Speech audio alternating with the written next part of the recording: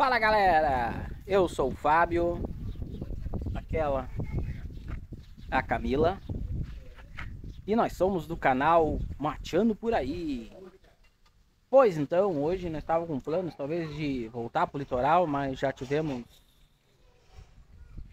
convites para conhecer outros lugares. Então vamos ficar mais um dia por aqui e vamos mostrar esse dia para vocês. Agora a gente vai tomar um cafezinho rapidão para depois ir conhecer os atrativos aqui.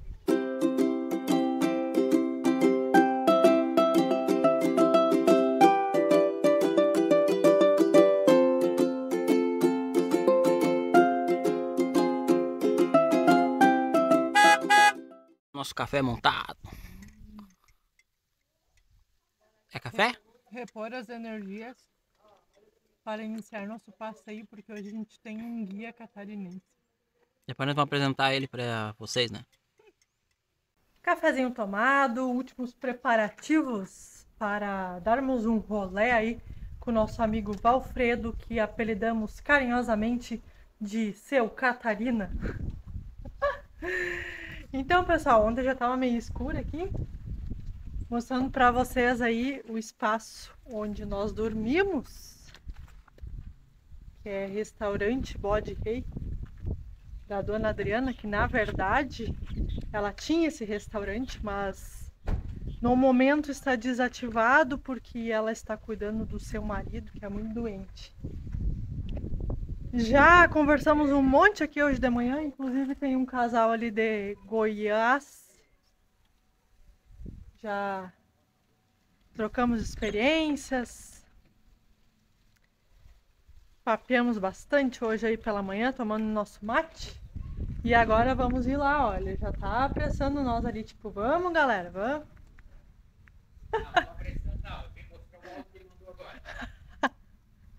Vamos apresentar agora o seu Valfredo, mais conhecido por nós pelo seu Catarina, agora, para não esquecer o nome, que é lá de Santa Catarina de Floripa.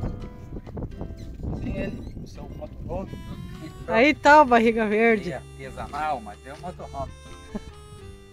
Vai, Fica à vontade ali, ó. Não cabe os dois. Então, o seu Alfredo já foi até o Alasca. Então, cheinho de placa aí. Vamos entrar aí pra gravar melhor. Eu amo essas torneiras dobráveis aqui. Amei essa grade aqui também, ó. Deixar a louça escorrendo. Espelhinho básico, né? Foi ele e um amigo dele que fizeram geladeirinha. Muito show.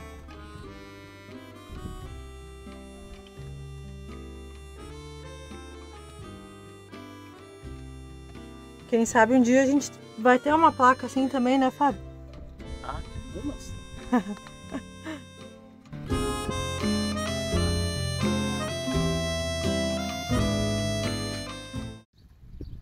Estamos caminhando aqui para visitar uma fábrica de couros. E olha só que interessante, é a segunda caixa que a gente vê aí. A gente acredita que a maioria das casas não tem água encanada. Aí a prefeitura coloca essas caixas d'água bem grande aqui e o pessoal vem pegar, geralmente com aqueles galões de 20 litros. É água de poço, não é potável. Mas o pessoal usa aí para tomar banho, lavar louça. Interessante, curioso, né? E vindo para cá, nós vimos várias casas com reservatórios de água da chuva, né? Mas aqui na cidade a gente quase não viu. De repente tem as caixas d'água perto, daí o pessoal tem essa facilidade, né? Não faz essas caixas de água da chuva, então. Estamos caminhando devagarinho. Até lá dá em torno de 750 metros. Então a gente decidiu ir caminhando mesmo, dar uma volta. Chegamos aqui na casa do seu Felipe, que trabalha com artigos em couro de cabra. Olha só que legal. Será que é só cabra ou cabrito, bode? Aí uma vizinha nos atacou aqui, ó. Perguntou se a gente queria água. Daí eu disse que não, que a gente tinha recém tomado. Perguntou se nós queria café. Aí já que ela ofereceu, né? Ela foi lá na casa dela buscar, porque aqui é a filha que mora. Resumindo, estamos tomando um café na calçada, aqui no meio de Cabaceiras. O que, que vocês acham disso? E viemos conhecer aqui um, uma fábrica artesanal de, de utensílios de couro de bode. Aqui tem um bode. Era um bode. É o que sobrou do bode, né? E nós estamos aqui no, na loja artesã Aretada e nós vamos apresentar para vocês o Felipe e o trabalho que ele faz. Vem aqui, Felipe, vamos apresentar. Esse é o Felipe. E faz muitos anos que trabalha com, com couro, Felipe? Desde 12 anos, né? Então entende bem do bicho. 23 anos. Agora entregou a idade. E é você mesmo que faz tudo artesanal aqui? Tudo. Tudo a gente, a gente pega, pega a pele, né? Aí escolhe os locais melhor. Cada peça tem um local melhor do couro. Essa peça do meio não pode esticar, entendeu? Hum, Essa peça aqui também não pode esticar porque a gente corta muito. Aí desenha, aí tem, o- tem as formas, tem o moldezinho, desenha tudo, corta a mão, fura, faz as tirinhas passa tudo e depois vai colorindo. Aí pra máquina, costura e começa a montar. E a, e a tira, a parte colorida é couro também ou não? É couro, é tudo couro. Mas é você mesmo que curte ele pra ficar colorido? Que eu pinto. Pinta ela. É, eu, eu pinto. E é uma tinta especial, claro? É Anilina, Anilina é gaúcho, hein? Lá Ah. Do Sul. Não Ei, E, e olha só o desenho da, da, da peça dele. É o lampião, ó. É, isso é, a gente chama, a gente chama cangaceira com essa Cangaceira. música. É. Cara. lindo esse trabalho, nossa. Porra. Os detalhes, né? tá saindo um chapéu aí também? Tá, aqui é só o cotó.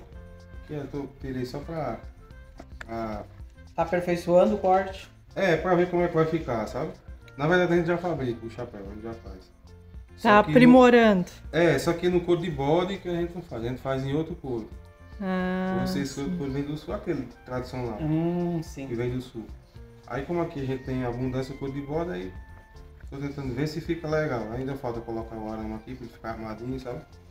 Fica bem armadinho, falta uma trança, tem um detalhe. E, e os buraquinhos aqui para dar ventilação, pronto. E, Isso vai- e o elástico. aqui. E o couro varia com a raça do bode também?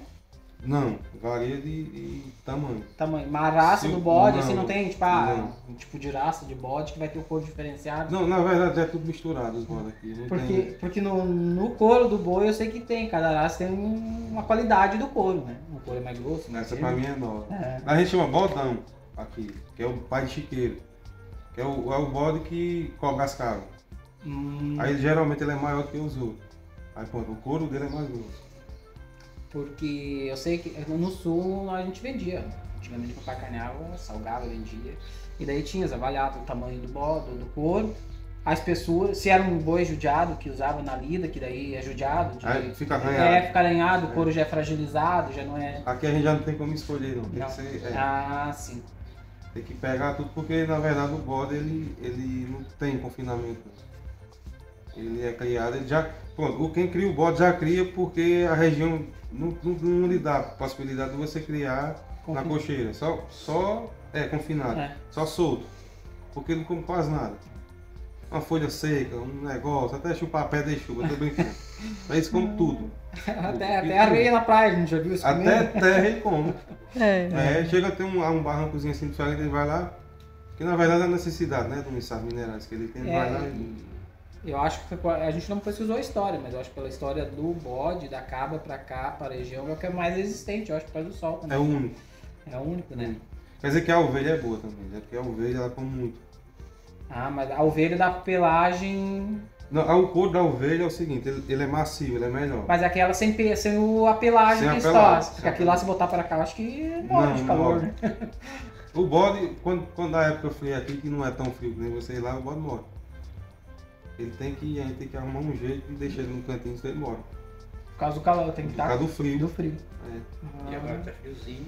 É, pô, tá aqui, chega, aqui em Cavaceiro, chega mais ou menos, o, o, recorde foi 12 graus, acho que dois anos atrás. Ó, quem diria? Mas vai chegar a 18 aí de madrugada. Chega, chega, é, a- agora já tá esquentando, mas há uns dois meses atrás, pegava 15, 14. Lá É. por junho, julho, então. É. junho, julho, é, junho e julho principalmente. Chega essa margem de. Assim, normal é 13, 14, 15. O anormal foi que foi 12. Ah, foi muito frio pra gente aqui, é frio demais. Alguma dúvida? E fala aí pra nós, Felipe, quais os tipos de acessórios tu faz aí com o couro? Ah, bolsa, tem a tira-colo, mochila, é, necessaire, chapéu, alforge. San- Sandália aqui eu não faço. Mas a gente, todo mundo a gente trabalha com. Na verdade, quem trabalha com artesanato aqui faz tudo. Carteira, chapéu, sandália, cinto, boné, tudo. Mochila, o que tiver de couro, só que, tipo, já não dá pra eu, fa- eu fazer as bolsas. Imagina se eu fosse botar outra coisa. Uhum. Aí a gente geralmente separa, tipo, o meu irmão ele fabrica sandália, entendeu? Aí já tem outras oficinas que fabricam só cinto, outras só carteira, outras só outro, outro tipo de bolsa.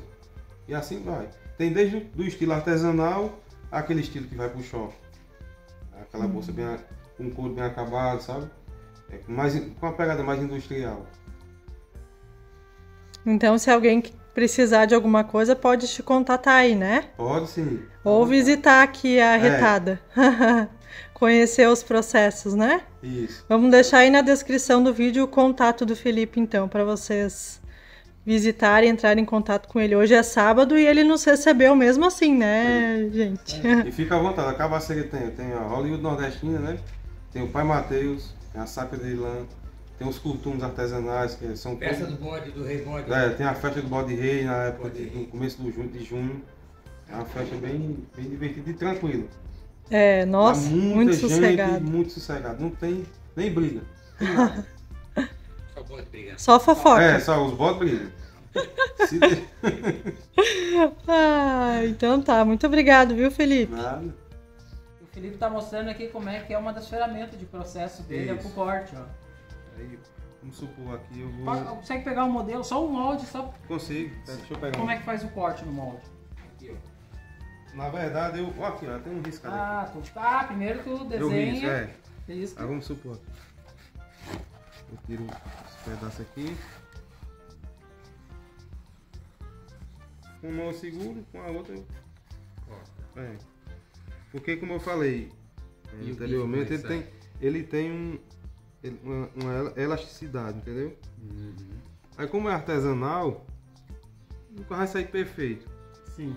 Mas sai de um jeito que dá pra gente ir modelando, modelando e vai ajeitando aos poucos. Então o corte é tudo manual mesmo, Tudo né? manual. E não é com tesoura, é com estilete. Depois, É. do, depois do corte ainda ainda fura ali pra, pra espontar. Pra colocar essas tirinhas aqui. E aí vai fazendo esses detalhes, então. Aí depois a gente vai pra máquina e costura. É, na verdade, antes você pegar pra colocar os detalhes, depois costura e começa a montagem de uma bolsa normal. Vários processos, né? Show, Tem.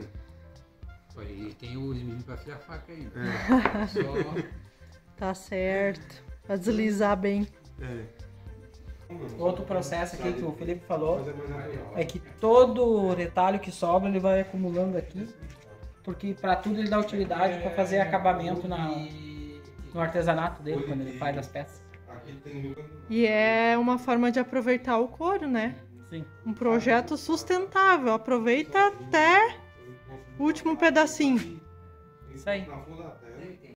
E estamos caminhando aí de volta agora em direção a outro atrativo, agora gastronômico, aqui da cidade de Cabaceiras, que inclusive é a esposa do Felipe que trabalha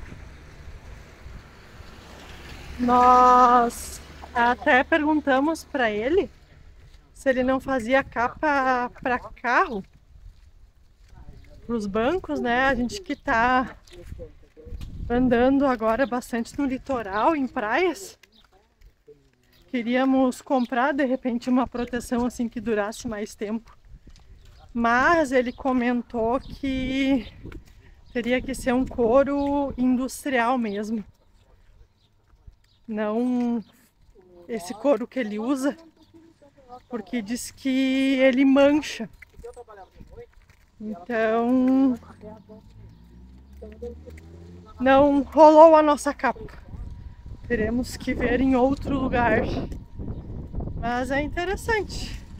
E o legal é que ele foi sincero, né? Porque ele podia fazer, vender e os nossos bancos iam ficar manchados. Diz que solta tipo uma gordura, assim.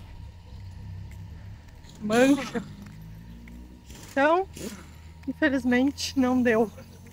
Mas muito legal o trabalho dele. A gente ficou bem feliz em conhecer. Mais uma casa com um telhado cheio de cactos. Muito curioso. A cidade aqui é tão organizada e bonita que olha só como é as plaquinhas das ruas aqui. Até as placas são temáticas, gente. E todas as ruas que a gente passa tem nome. Eu amei as luminárias aqui da avenida, olha só. Imitando um cacto e eles colocam o bico de luz na flor então do cacto. Muito lindo. Olhem a fachada dessa casa, gente. Que coisa mais linda. Tudo feito com um pedacinho de azulejo. E aqui do outro lado da rua tem outra. Nossa. Muito lindo. Amei. E agora nós estamos aqui com a esposa do Felipe, a Elane, que trabalha aqui numa cooperativa da cidade. Explica um pouquinho mais, Elane. É, nós somos uma cooperativa, só trabalhamos com leite de cabra a gente coleta o leite dos produtores aqui de Camaceiras e de mais 22 municípios em, torno de 150 quilômetros, mais ou menos. Nossa, São 420 produtores que fornecem para o laticínio. E aí a gente beneficia em média 5.500 litros de leite de cabra por dia. Aí a gente faz a entrega para programas institucionais e também transforma a parte desse leite, 5% da produção em derivados de leite de cabra. Aqui nós temos alguns dos queijos né, que a gente produz que nós temos o famoso João Grilo, né? e nós temos que, na verdade, é uma homenagem né, ao Ordem da Compadecida, que foi gravado aqui em Cabaceiras. E aqui nós temos outros tipos, né? o queijo branco tradicional, o tipo reino, aqui nós temos o cabra real, que é uma homenagem às matrizes, né, que fornecem a matéria-prima. É, o gold black, que é o cabra preta. Temos também é, pimenta calabresa, orégano e aqui o João Vitor, como eu passei para vocês. E qual é que é a diferença pro natural, no caso? O natural... O que, que tem de aditivo, assim, no gosto? Sim, o natural, é, ele é apenas leite de cabra, né? Usa unicamente um tipo de cultura e os demais vai modificar a cultura, né? Cada um deles são culturas diferentes, que é o que faz a modificação do sabor e que define isso durante a maturação. Porque mesmo aqui, né, são todos queijos maturados, mas todos na embalagem, da forma como estão, continua ainda o processo de maturação. Ah, mas, por exemplo, esse, eu estou vendo aqui que ele é mais amarelado, né? Isso. O que, que ele tem de diferente do natural? O branco tradicional. Isso. Aqui ele vai ter duas culturas, diferente da cultura, que é o fermento que a gente utiliza. Ah, tipo as Isso, bactérias. exatamente, as bactérias. Ah. E, e ele é todo amarelo porque é bem característico do nome que a gente deu a ele, né? Porque João Grilo era conhecido na Alta Compadecida como o amarelo mais amarelo do sertão, né? Então, a gente é um queijo totalmente amarelo, da linha amarela dos queijos, diferente do cabra real. Ele é um queijo envolto por uma película amarela, mas dentro ele é de massa branca e uma massa úmida. Hum, diferente também do tradicional. Diferente também do tradicional. E o preto é o que aqui? Porque ele é bem pretinho, né? É, o Gold Black ele também é branco, né, no interior. É uma cultura totalmente diferente dessa aqui. Então esse aqui, quanto mais tempo de maturação ele tem, é, mais macia a, a massa vai ficando. Né? E tem muita gente que inclusive compara ela período mais de maturação com a massa da mussarela. E a gente escolheu o Gold Black, né? Primeiro é, o nome em inglês, né, americanizado, para juntar, aproveitar essa questão, essa pegada da roleta nordestina.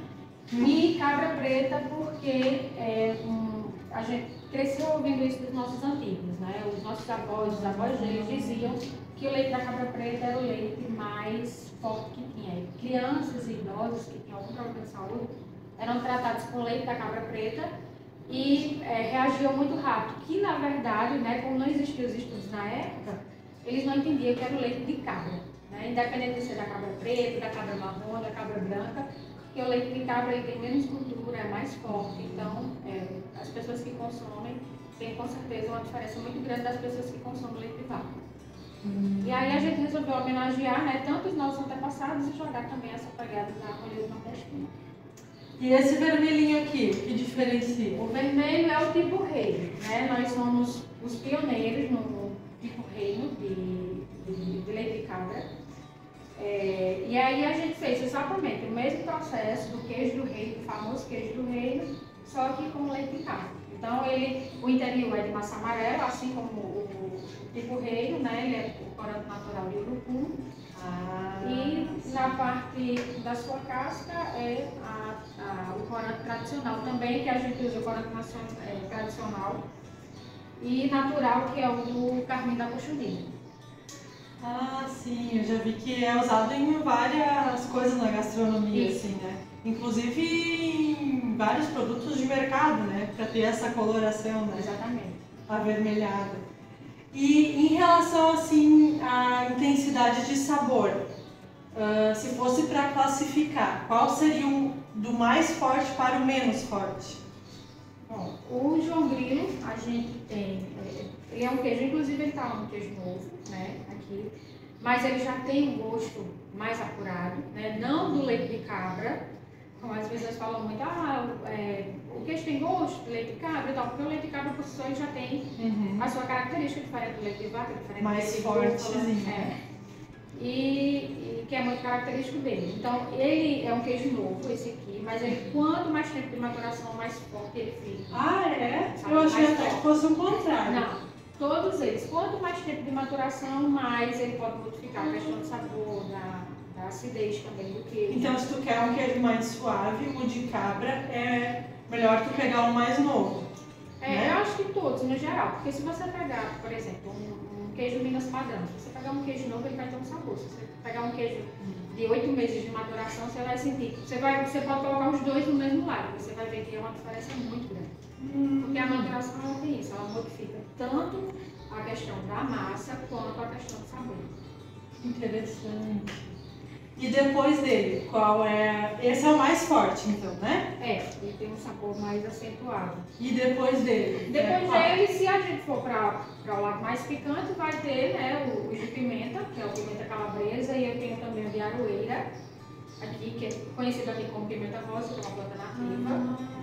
E aí, em seguida, vem o tipo reino e o gold black. Entendi. Sendo o tradicional mais suave, então, entre eles. Mais suave entre eles. Nossa. Vamos levar, né, Fábio? Vamos? Hum. Agora nós chegamos na hora boa, né? Porque como é que nós vamos comprar uma coisa que nós não vamos nem experimentar, né, gente? É, então, ó, ela tá oferecendo aqui pra nós o João Grilo, que é esse amarelinho que tá aqui do lado, ó. Vamos ver, que é pra ser o de sabor mais intenso, né? Vamos experimentar então. Olha só. Que bonito. Hum, o cheiro tá bom. Eu gosto de queijo forte assim, mais encorpado. Ele, ele lembra mais o parmesão. Hum, Até a crocância. hum. Bom, Provável? Hum. Meu Deus. Eu sou cardiólatra, né? Tanto que no início do canal nós gravamos a Fast Queijo, que é a festa do queijo lá em Carlos Barbosa, Rio Grande do Sul. E a gente não podia deixar de passar aqui neste lugar, que inclusive foi o seu Catarina que nos apresentou, o Alfredo. Tu não fica bravo com esse apelido, né? Não tem apelido, bora. Isso aí. Então, seu Catarina. Muito bom, gente. Aprovado. Para quem gosta de queijo mais intenso, encorpado, é o lugar ideal para tu vir comprar aqui. E olha só, a peça do tradicional, 25 reais. Imagina. Valor super em conta aí. E vocês acham que parou por aí? Não, minha gente. Eles não têm só vários tipos de queijo. Tem também iogurte e doce de leite. Esse aqui é sabor morango, né? Moral. Vamos ver então, iogurte de cabra. Eu nunca imaginei na minha vida que eu ia tomar isso um dia. Vamos lá. Tá na Paraíba. Tudo é possível. Hum. Então, tem um gosto mais intenso assim, que parece que até intensifica o próprio gosto da fruta, sabe? Bem interessante assim. Diferente mesmo do gosto de vaca. No caso, iogurte de vaca, né? Aprovado. Tomaria todo dia. isso. E ganhamos um presente aqui. Olha só que legal. Um litro do iogurte então, que a gente acabou de experimentar. E olha que interessante o nome da marca. É Bé, bem regional aí, né? Tem tudo a ver com com a região. Então, gente, a Elaine que estava explicando para nós que eles só trabalham com iogurte, que é feito 100% do leite da cabra. Diferente da bebida láctea, que geralmente vai ser 100% de soro. Olha só, é uma coisa que às vezes tu vai no supermercado também, né? E tu não se dá conta da diferença do iogurte para a bebida láctea. Então, ó, qualidade garantida aí.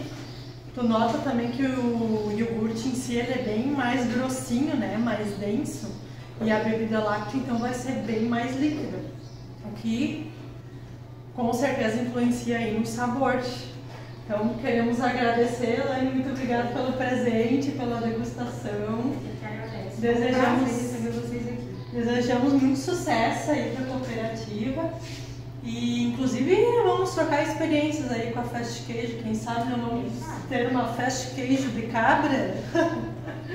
muito obrigada, viu? E estamos saindo aqui da cooperativa. Uma coisa legal que a Elane falou aí pra nós é que a cabra ela pode dar de 4 a 14 litros por dia de leite. Olha só que interessante. E foi uma experiência muito legal, galera. Nós comemos queijo de cabra uma vez na vida lá na cidade de Lajeado, uma cidade vizinha. Sei lá, uns 10 anos atrás, porque eu acho que na nossa cidade tu nem encontra. Numa loja lá de vinhos e tal.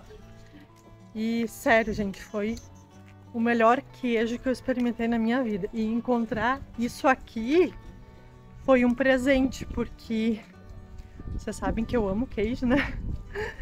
Então, nossa, foi muito legal, assim.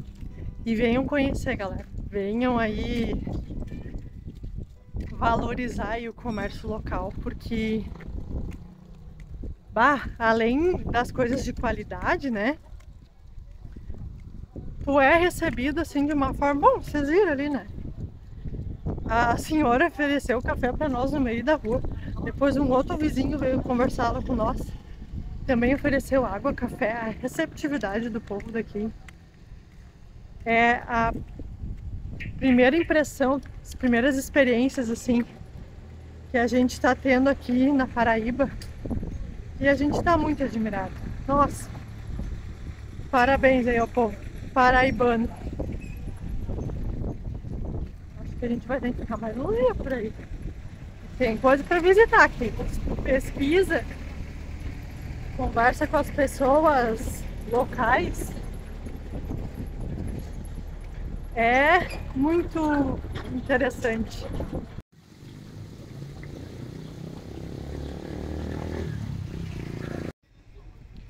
Ontem não mostramos para vocês, mas aqui também tem um mercado público.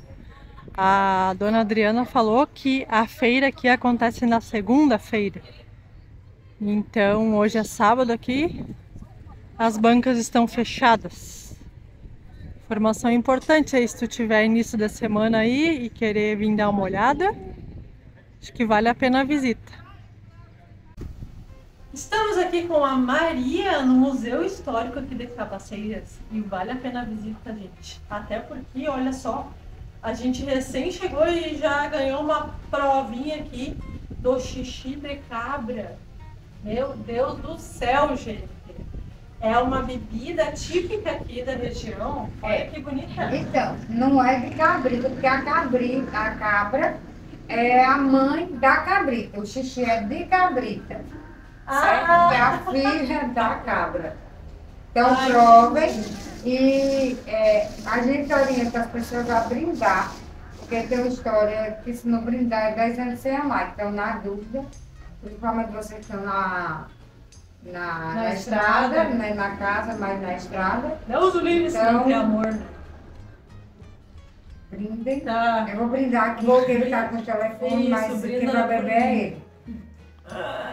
Não sei se você assim É pra não perder o amor por cabaceiras também, né? também. Tipo Aí assim. tem um ritual para não perder o amor de cabaceiras. É tomar xixi de cabrito segurado no testículo do bode. Aí você fica voltando. Aí faz Ah, mas pronto, daí que eu faço isso? É a foto desse bode aqui. É, é, esse bode, esse estátua de bode tá lá na frente. na entrada. Ah, sim, é no Aí você monumento. segura o testículo, alisa e faz três pedidos. Tem Só que não ser pode do animal, não pode ser humano. Mas pode ser três? Não é dois? É três. Só não pode pedir a parte financeira porque a crise é mundial, nem pode resolver. Tá melhorando, mas as poucas. É porque o, Ai, ai, ai. o testículo que segura para fazer pedido para dinheiro é o do boi, lá no, nos Estados Unidos. E aqui é essa parte sentimental. Ah, entendi. É- E é pra combinar com Hollywood também, não é? É, é, Entendeu? não sei se você fala assim. É, porque lá é do boi, aqui é do bode, entendeu? Tem toda essa relação, assim. Experimenta aí. Será? Vamos lá. Para você e eu Eita! Que xixi bom, meu!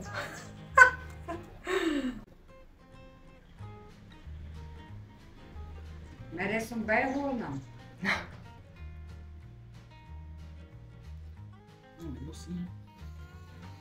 Vai ser um berro ou não? Saiu um berro. Não, não sai.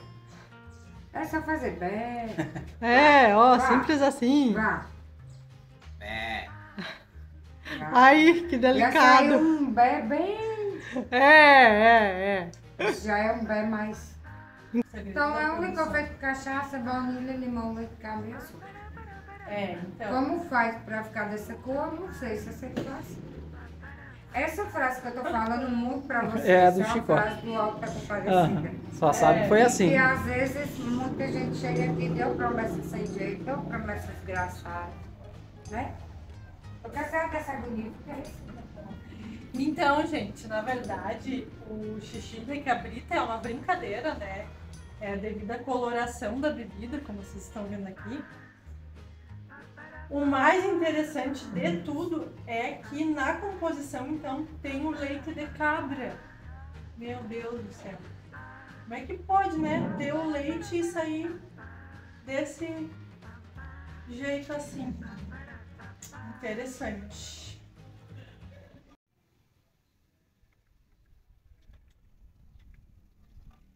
E já chegamos aqui no restaurante da Dona Adriana, que não é mais um restaurante. Então, o que a gente queria comentar com vocês é que conversando com ela, esse espaço aqui onde ela mora é onde acontece boa parte da festa do bode, que acontece aqui em junho. E esses espaços aqui, essas cercas que a gente achou um capricho ontem, são colocados bodes aqui em exposição. E essas casinhas aqui que a gente gravou para vocês na entrada da cidade, que ficamos na dúvida se moravam pessoas ou eram somente cenográficas, diz que eles fizeram para o filme, mas na frente é um muro e atrás tem as casas, então. Então, na verdade, é meio a meio.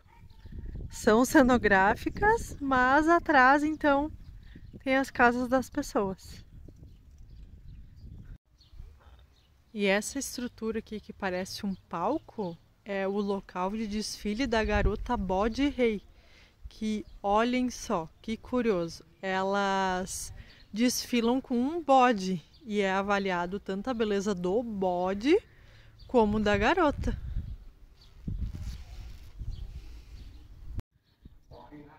E este poste aqui atrás não está aqui em vão. Aqui eles fazem a competição de quem consegue pegar uma bandeirinha lá em cima do poste e enchem o poste de sebo. Dona Adriana falou que até hoje ninguém conseguiu.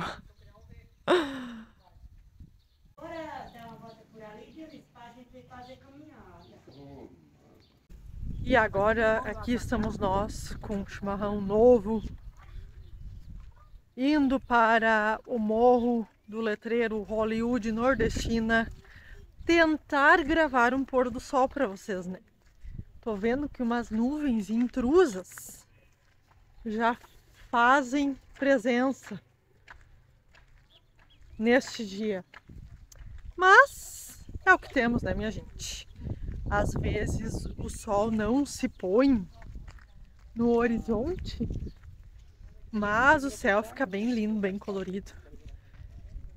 Estou me sentindo uma cabra dormindo dentro do curral, então agora que a gente descobriu o que é ali. Simbora lá então, nossa porteira da cidade. Se você não sabe, aqui tem uma porteira em Cabaceiras. Sim, Vou mostrar pra vocês. Eis a porteira da cidade de Cabaceiras. Aqui do lado dessa cerca, ó, tem um monte de melão de São Caetano. Vocês já conhecem essa frutinha aqui, ó.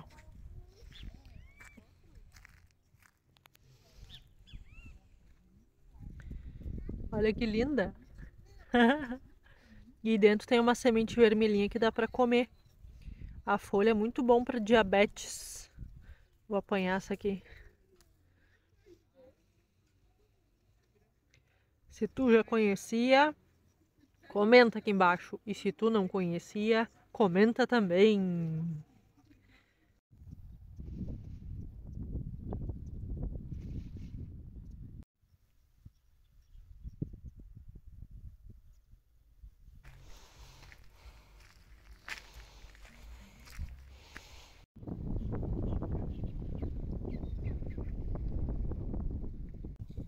Vou abrir a fruta agora. Olha só que diferente. Que linda essa fruta, né, gente?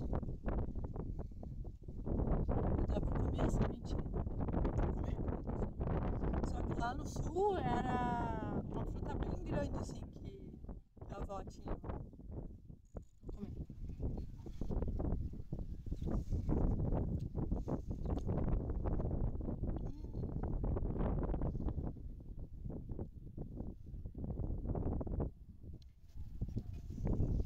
O bom é que a fruta grande ela tem os caroços maiores, né? Daí tem mais polpa. Mas essa aqui parece ser mais docinha. Vou espalhar uma semente